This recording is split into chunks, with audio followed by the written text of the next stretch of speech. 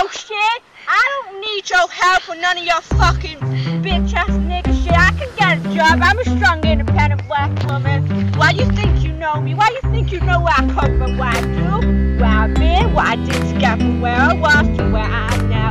You don't know nothing about me. Why you want my shit? Why you want my shit? Bitch ass niggas be fucking me about. Who you think you are? You think you some real ass bitch nigga? You just a skinny white hoe. Face. You